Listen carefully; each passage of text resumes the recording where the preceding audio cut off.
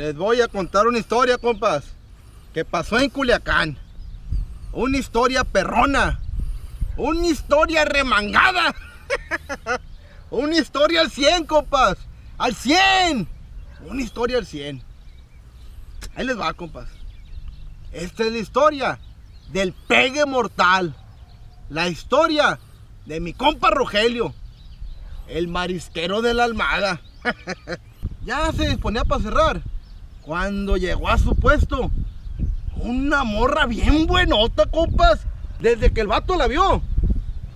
Hombre, se le caía la baba, pues, va. Y la morra le dijo, Güerito, buenas tardes. buenas ¿De qué le tardes. damos? Un aguachile para llevar. Muy bien. ¿Algo más, señor? De momento no. Hombre, el vato, compa, se lució con la morra, pues. Porque estaba bien buena, pues, la neta. Pero el vato, el vato no era tonto. Olía peligro. Sabía que la morra olía pólvora, pues. Como decimos aquí en Culiacán. Pasó el otro día, compa. Y llegó la morra. Llegó la morra a su puesto, pues, va. Y le dijo, vengo por la feria, güerito.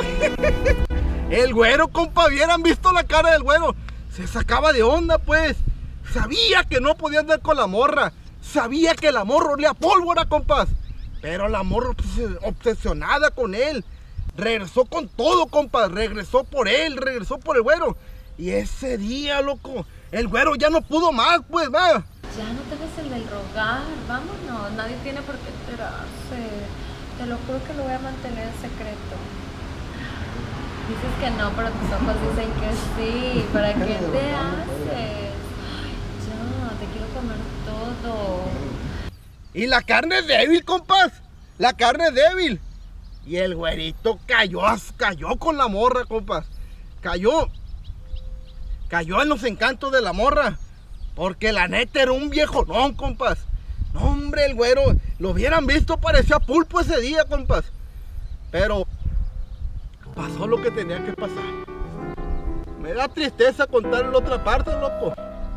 Porque el güero no era mala persona, el güero no era mala persona, sino que simplemente se dejó ir, se dejó engatusar por los encantos de la morra.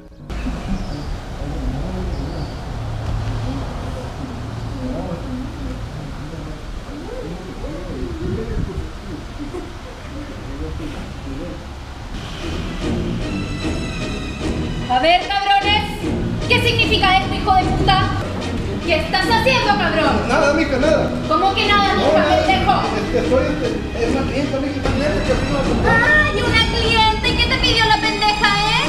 ¿Un taquito de barriga?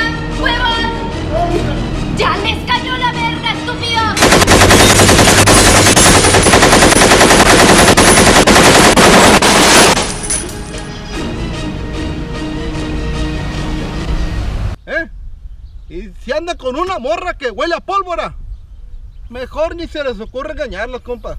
Porque estas morras son cabronas, son de armas tomar. Pónganse al 100, compas. A que no les vaya a pasar lo que mi compa güero. Yo te lo dije, compa güero. Te lo dije que esta morra olea a pólvora.